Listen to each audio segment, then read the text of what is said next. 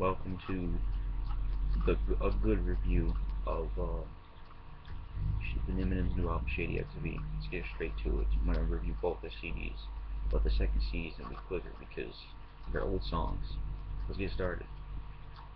First track is Eminem Shady XV.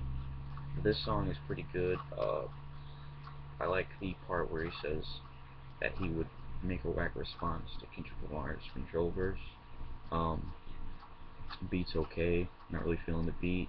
He's too fast. That's my problem with the song. It's way too fast and way too offbeat. Um, it's an okay song. Uh, I like the part where he does that shit with his nose and make it make himself sound like the young Eminem, which he should do. Uh, okay song. Like the part where he mentions Action Bronson and a whole bunch of other white rappers. It's an okay song. Yeah. Track two, Psychopathic Killer, Eminem, Yelawolf, and Slaughterhouse. This is a pretty good song. Uh, Eminem has a good verse. Uh, everybody in Slaughterhouse has a really good verse. The chorus is awesome. Uh, really good song, really good beat. Just an awesome song overall. Track three, Die Alone, Feed Kobe, and of course Eminem's in it. Don't really, don't really like this song. Talks about this. Talks about Kim again. Like he hasn't done it in one album yet. He just talks about it every fucking album. Uh, hate this song. Chorus is shitty. The flow is pretty good, but other than that, it's just it's just a horrible song.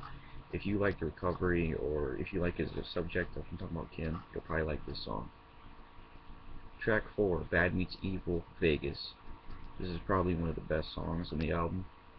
Definitely want Bad Meets Evil to come back and do a uh, another EP.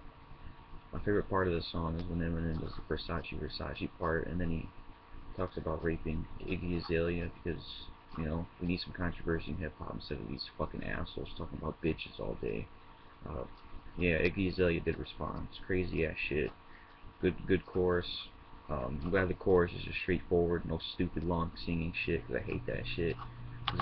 The, the best part about this song is the rapping. Royce da Five Nines verse when he comes in? Really good verse. Really like it. Awesome song. Track 5, Slaughterhouse, you already know. This is a pretty good song. I, don't really listen to Slaughterhouse, but this is a good song to listen to. Everybody on here has a good verse. Really good verse. Beats good. It's not no bullshit beat. It's like a piano type beat. Really good song. Chorus is really good because it's short and it's not too fucking long. Good song. Track 6, Eminem, Guts Over Fear, feat. Sia. Um, this song is pretty good. The first listen, but really don't like it. I'm tired of it because it's all I jammed when it came out. Uh, don't really like it. If you like Recovery, you'll like this song. But I really don't like it because it's just like, I don't know. He's using bullshit chorus female singers again. And it's hard to understand what the fuck she's saying. But he's on point on the beat. I like the subject he talks about, but don't really like the song. I think it's not that good. Track 7, Yelawolf Down. This is a pretty good song. Pretty good song by Yelawolf. Um, now, I'll be honest here. I didn't listen to the full song. But, I did hear the snippet version. I can say that um, it's it's a good song. Good beat, good lyrics, uh, good verse. I didn't listen to the full version. But, I just want to get a review out for people that way, you know, it's like, hey, there's a review. Let's watch it because, you know, you want to see what people think of it. So, I'm just going to assume Down is a good song. I only heard the snippet. I didn't have time to listen to the full version. Track 8, D12 Bane. This is a really good song. I like everybody's verse in here. Bizarre's is probably the best. Um, basically talks about them being immortal, I guess, and being involved with drugs as Bane. I don't know why Eminem wasn't on the song. I mean, it's fucking D12. Come on now. Uh, good song. The beat is awesome. Good chorus. Just Eminem should have been in it because it's D12. Track 9, Eminem Fine Line.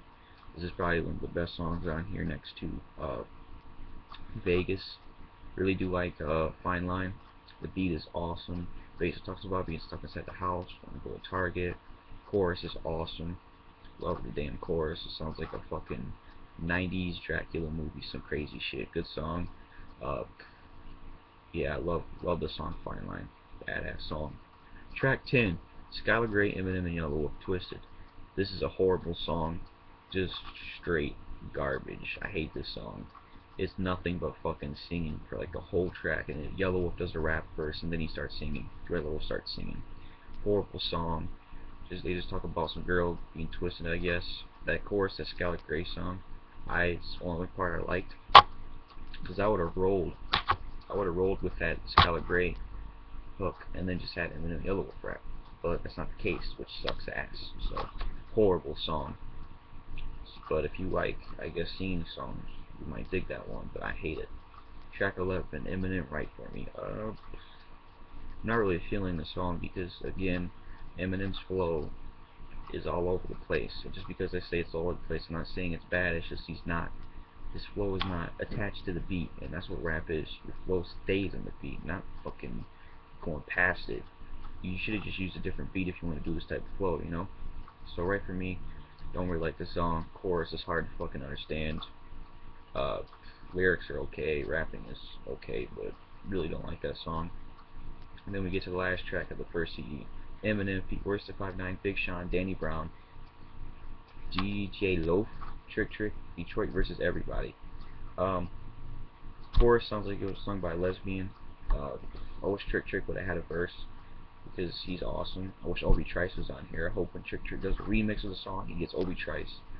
So, Royce da 5'9 is probably my favorite verse. He had a good verse. Big Sean uh, had a good verse. It's definitely better than the other shit he's doing.